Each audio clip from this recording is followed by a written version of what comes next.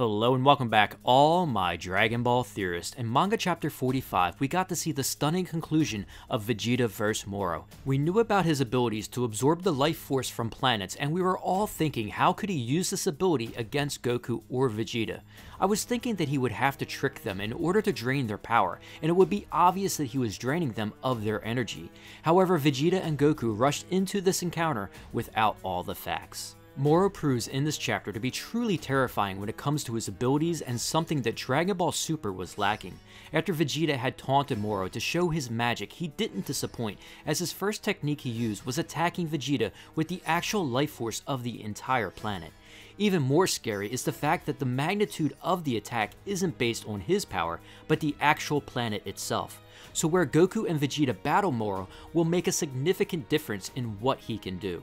There were some really stunning panels in this chapter of Vegeta going Super Saiyan Blue evolution to get the upper hand, despite Moro using such impressive techniques. This fight would look absolutely amazing animated and I hope to see that in the near future.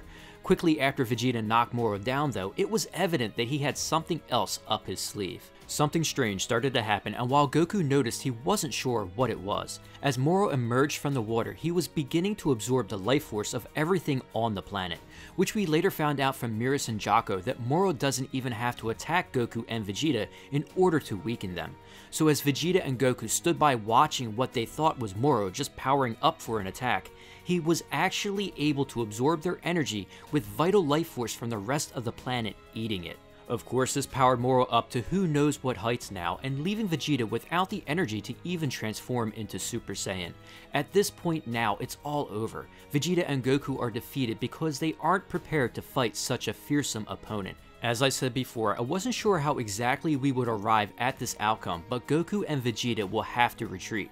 The only hope will be for Goku to perhaps use something like a solar flare to blind Moro and give them enough time to instant transmission back to the Galactic Patrol ship and regroup. This is clearly an opponent that will take a lot of strategy to overcome and brute force just simply will not work, which I find really refreshing in this arc. I hope everyone has had a great week and enjoyed this chapter. As always, I look forward to your theories in the comments below. If you enjoyed this video, don't forget to hit that like button, and please subscribe to support the channel and turn on that notification bell to keep those theories coming.